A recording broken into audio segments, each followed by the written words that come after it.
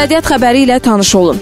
Twitter sosial şəbəkəsinin ilin 3-cü rübü üçün gəlirlərində artım müşahidə olunmasına baxmayaraq şirkətin səhmləri 11% aşağı düşüb.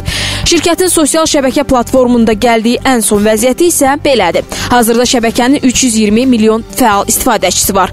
Bu göstərici ilin 2-ci rübü ilə müqayisədə 6 milyon istifadəçi daha artıq deməkdir. Sosial şəbəkənin ilin 3-cü rübü üçün gəlirləri isə 513 milyon dollar təşkil edir. Bununla keçən illə müqayisədə şirkətin gəlirləri 58% artıb.